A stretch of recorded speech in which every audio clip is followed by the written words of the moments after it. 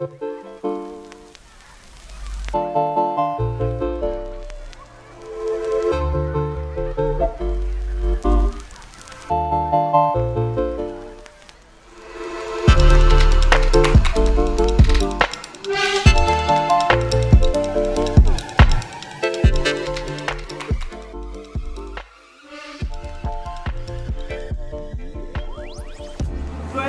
I was reading a lot of Pippi Longstocking, whatever, and then I realized when I read Color Purple that you can write books about black people. Like I didn't know there were any books about black people.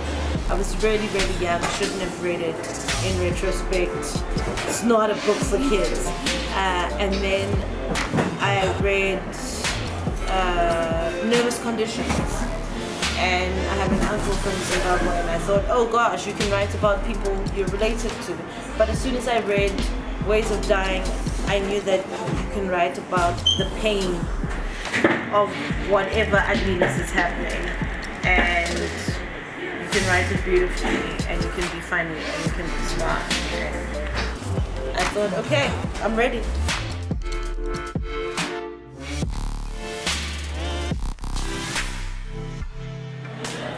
You know, when I read the final, the final PDF, whatever, I could hear the music, right?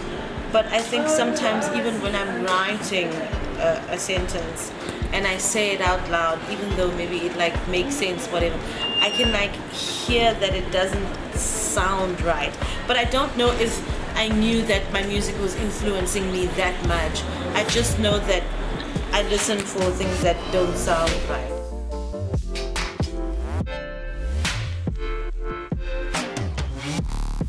I just think that's my voice. And I also don't oh, I hate when I pick up a book and it sounds like pretentious. I don't I never want to sound pretentious. I'm not a pretentious person. So I think that comes through in my writing.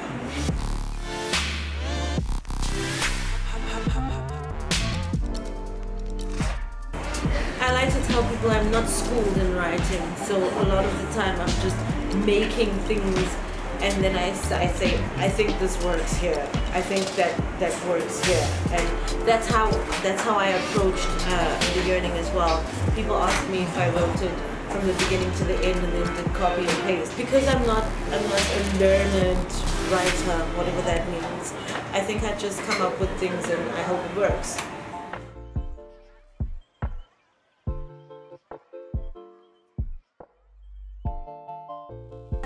Feel like at the time it was something really cool and nobody really talks about the origins, you know, the, the, the origins of um, Afrofuturism and what it's what it's meant to do and I think because we're such culture vultures and because of cultural imperialism, we'll just take a thing and wear it.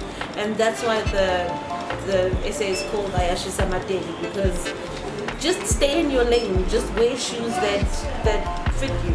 You know.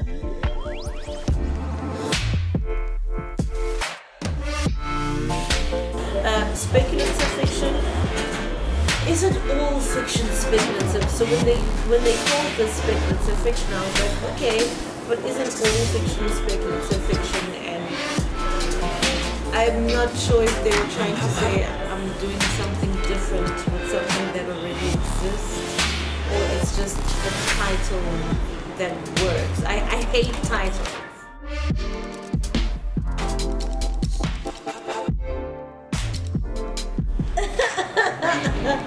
so in the essay I have left a space, a blank space for people to come up with the term for themselves. And I don't know who's gonna come up with it. Definitely not me.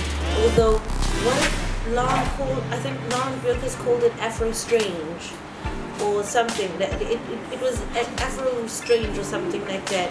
And I was like, that's fine. You guys come up with a name with it just beware of the fact that you're wearing Afrofuturism like like a I don't know, like a costume and you look silly.